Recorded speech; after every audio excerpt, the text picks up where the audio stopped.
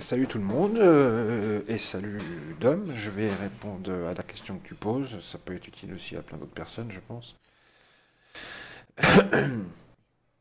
Donc euh, bon, voilà un, le Dom du 6E, comme je sais que tu l'affectionnes particulièrement. Euh, à ma sauce donc. Avec euh, le VWAP, euh, le volume profile, euh, les récentes Ask, volume, récentes bit volume et tout le tintouin. Après, les couleurs, les goûts et les couleurs, c'est chacun. Hein. c'est chacun qui voit.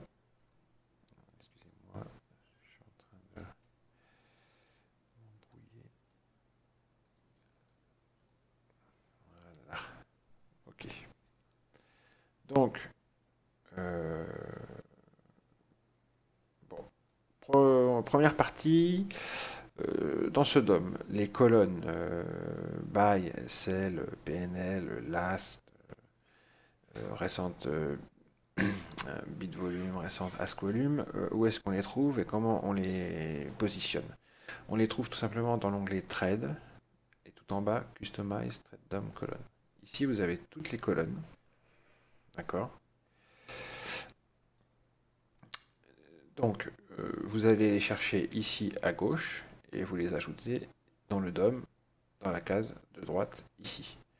Donc le bit size by colonne, la colonne by ici, vous allez la chercher là et vous l'additionnez à droite recent bit volume, moi je les ai mis juste après. Après il y a le prix, recent as volume, ask size, c'est le column, last size et profit and loss. Moi c'est comme ça que j'ai organisé le truc, mais vous pouvez tout à fait changer l'ordre des colonnes comme vous aimez euh, que ce soit organisé. Hein.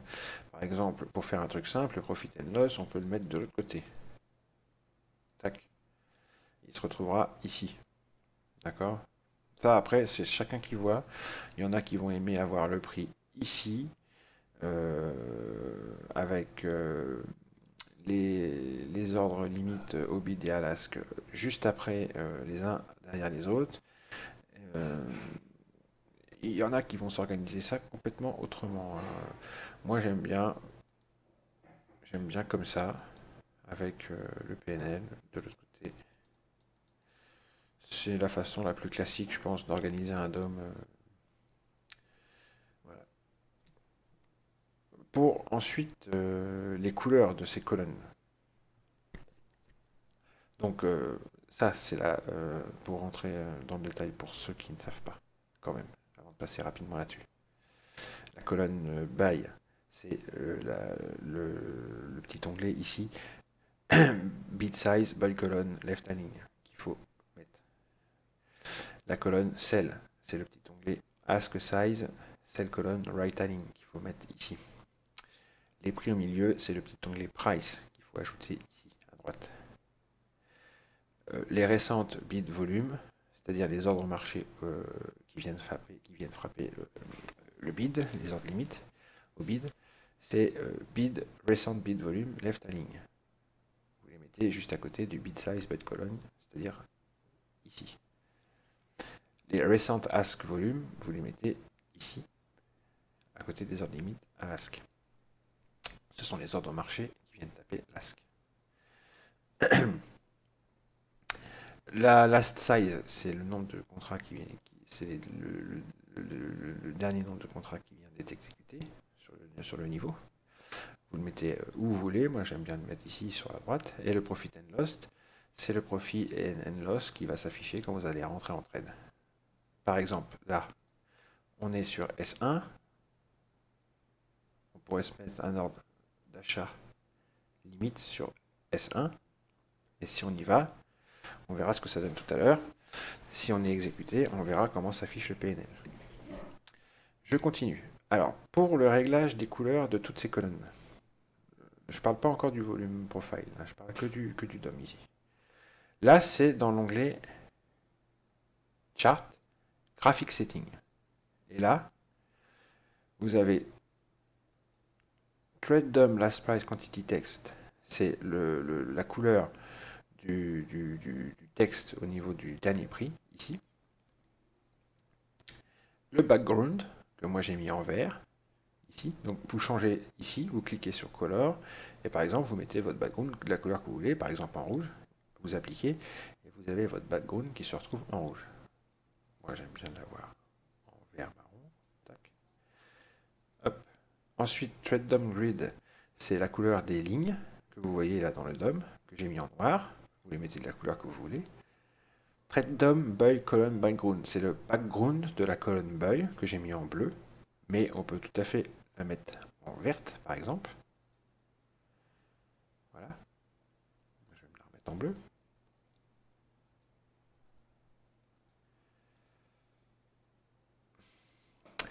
DOM Boy Column Line, c'est les lines, les lignes pardon, euh, verticales euh, sur la droite et sur la gauche de la colonne. On peut les mettre en rouge pour vous les montrer, pour vous montrer ce que c'est. Vous voyez C'est ces lignes-là, celle-ci et celle-ci. Moi, je l'ai mis en noir comme le reste. Et euh, de l'autre côté, pareil, le cell column background, c'est la couleur en arrière dans le background de la colonne cell. Le cell column line, c'est la couleur des lignes de ce côté-là. Le bit column background, alors là, on s'en fout. Le ask column background, on s'en fout aussi. C'est en dessous. Ask background, c'est-à-dire la couleur qu'il va y avoir au niveau euh, des asks, des ordres limites à l'ask, sur les 10 niveaux de prix ici. La couleur en arrière-fond. On la met, moi j'ai mis en blanc, pouvez la mettre euh, par exemple en, jaune, faites ce que vous voulez. Hein. Ah oui, oui, non, non, non. Le thread DOM as background, c'est euh, et le thread DOM bit background, c'est pour séparer le DOM en deux. Euh, euh, thread DOM as background, c'est une couleur qui fera tout au-dessus des prix. Et le thread DOM bit background, c'est une couleur qui sera en dessous des prix. C'est pour bien séparer le côté ask du côté bid. Moi, je préfère que ça reste en blanc. Excusez-moi, je, fais une erreur là. C'est en dessous que c'est le ask def background la couleur qui a en dessous, en arrière-plan, ici au niveau des asks, et le bid def background, la couleur qui a en arrière-plan des ordres, des 10 niveaux d'ordre limite ici euh, au, bid. Donc moi je le mets en blanc, mais vous pouvez tout à fait le mettre, donc comme je vous le disais tout à l'heure, euh, en jaune pour vous montrer ce que ça donnerait. Vous voyez, c'est jaune, et le bit def background, on le mettra en jaune. Hop, on applique et on se retrouverait avec un arrière-plan jaune. Bon, après c'est une question de goût. Moi, euh, j'aime pas trop. Je me mets en blanc, je préfère. Donc bitdef background et ask def background. Ensuite, les volumes, c'est-à-dire les, ordres limites qui sont euh, inscrits dans ces 10 niveaux de prix, euh, c'est ask def volume, vous les mettez de la couleur que vous voulez. Donc en général, à l'ask, on les met en rouge, comme là, hein, ici. Et en bid, on les met en général soit en vert, soit en bleu. Voilà. Par exemple, là, on peut les changer, on peut les mettre en vert. Hop. Vous voyez Thread DOM bid defs volume. Et thread DOM ask defs volume pour les ordres à l'ask. Je vais me les remettre. en bleu, excusez-moi.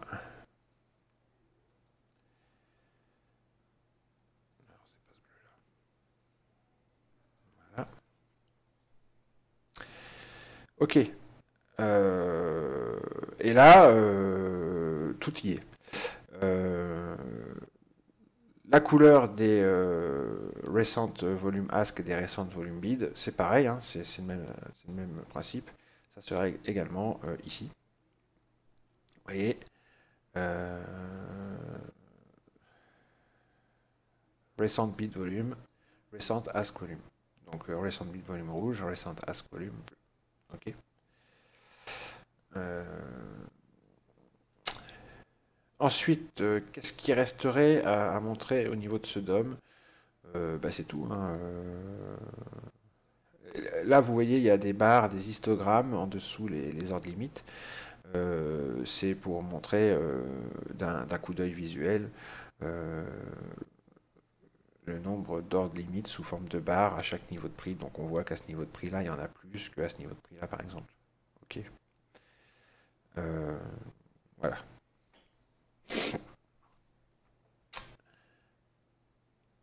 Other.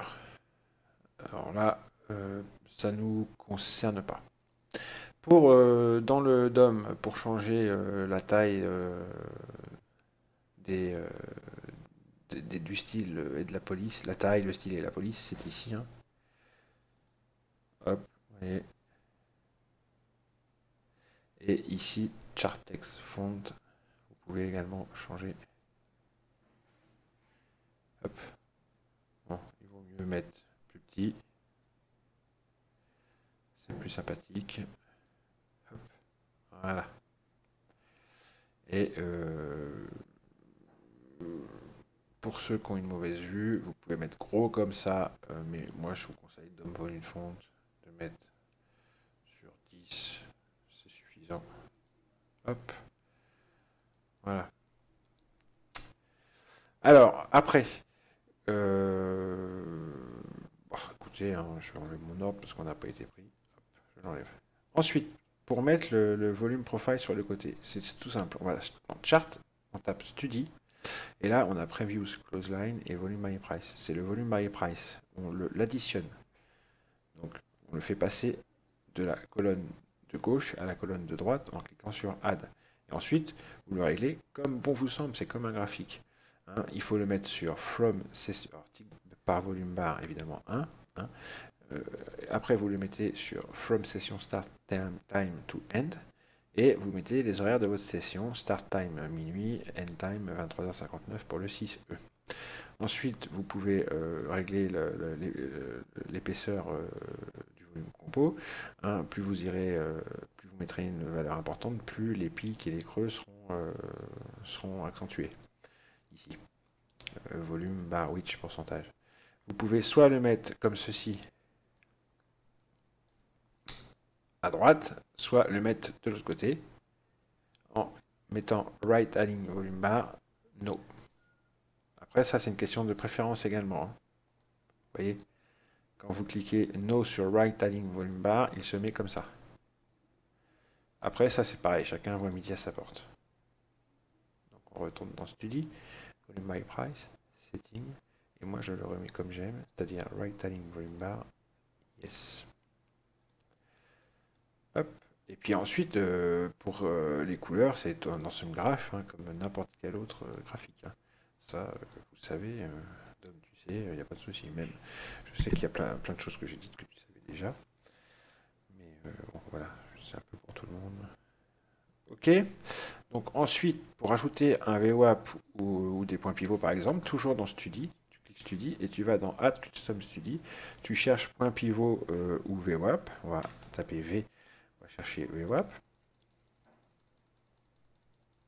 Voilà. Tu l'additionnes et elle va se retrouver ici. Et là, après, tu te règles dans tes settings. VWAP, tu te mets la couleur que tu veux. Euh, moi, je préfère mettre dash que line parce que euh, dès qu'elle va changer de, de, de, niveau, euh, ça va faire un, un, décalage case par case, si tu veux. Ça va pas faire une ligne euh, continue. Je préfère que ça se décale euh, case par case en suivant les prix.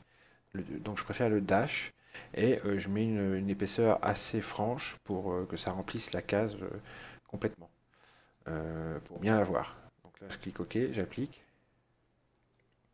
Et voilà donc mon VWAP ici avec dans la case des prix du DOM euh, le prix qui est surligné de la couleur du BWAP. D'accord?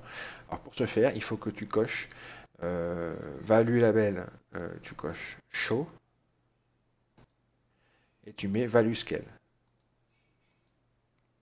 Tu vois? Value label, tu coches show et tu mets value scale. Tu peux le faire pour toutes les standards déviation. Je peux prendre celle-là par exemple, je mets value label, value scale. Celle-ci, pareil, value label, value scale. Celle-ci, value label, value scale. Celle-ci, value label, value scale. Pareil pour toutes les autres. comme ça, je vais retrouver toutes mes standards déviation. On peut différencier les quatre en leur donnant une autre couleur, par exemple orange. Voilà. Et je vais avoir euh, toutes mes standards déviation qui vont apparaître sur le côté et euh, également dans mon DOM avec les valeurs. Tu vois, la standard déviation 4 moins ici et la standard déviation 4 plus ici et la 3, la 2 et la 1 ici et la moins 3, moins 2 et moins 1 ici.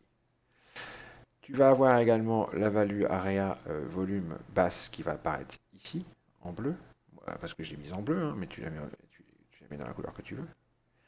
Et ici, on la voit pas parce qu'elle est cachée par le point pivot. Donc là, il y a un beau niveau. Hein. On a une standard déviation, le point pivot et la value area haute euh, du jour. On a un, bon niveau là. Et les points pivots, tu vois que j'ai mis, euh, qui apparaissent également. Donc ici, en tant que nom, S1 point pivot, et ici, en tant que valeur numérique, euh, au niveau des prix, c'est surligné de la couleur. Donc là, il faut cocher euh, name label et cocher value label, show, show, pour avoir le nom et la couleur ici. Voilà, et là, euh, et là, tout. Là, t'as tout pour. Euh, alors après, les couleurs, c'est comme je dis, hein, les couleurs, c'est une question de, choix. Hein. Bon, alors ici, on retrouve le spread, le pourcentage euh, d'ordre de limite ici et le pourcentage d'ordre limite ici, et le nombre, là c'est en pourcentage, et là c'est en nombre d'ordre limite. D'accord? Et là tu as le spread. Alors ça c'est en cochant euh, je ne sais plus où. Hein, euh, je ne sais plus où c'est. Il, faut, il faut chercher. Hein, il faut chercher, il faut chercher. mais bon, c'est quelque part où on te demande si tu veux voir ces infos-là je ne sais plus où c'est. Euh, c'est pas là. Euh, bref, euh, en cherchant, en cherchant un petit peu, tu retrouves. tu vois, c'est, ça, doit être dans ces coins. Voilà, c'est là. Display DOM devs total, display DOM devs pourcentage et display DOM spread. Et display volume bar for bit ask size. Moi, j'ai tout mis. Voilà, comme ça, ça me montre tout. Voilà, il y a, toutes les infos euh, et on peut en mettre bien d'autres. Hein. On peut mettre le, cumulative euh, last size, là c'est le last size tout court, mais on peut mettre le cumulative last, size, c'est-à-dire qu'à chaque fois qu'on va revenir sur un niveau, c'est le, cumul des positions qui ont été prises qui va apparaître et non pas seulement la dernière position ou les derniers contrats pris. et puis plein d'autres trucs, hein, il faut tester, hein. il faut, faut, aller dans Customize Trade DOM Column, il y a plein de choses. Euh, je, suis sûr qu'il y a plein de choses intéressantes que je ne connais pas, que j'ai pas mises, qui sont intéressantes et qui sont à mettre. Hein. Il faut regarder. Il faut regarder. Voilà, Tiox. J'espère que ça répond en tous les cas. Mon dôme n'est pas beau, on est bien d'accord, mais c'était juste pour l'explication. Il est très moche.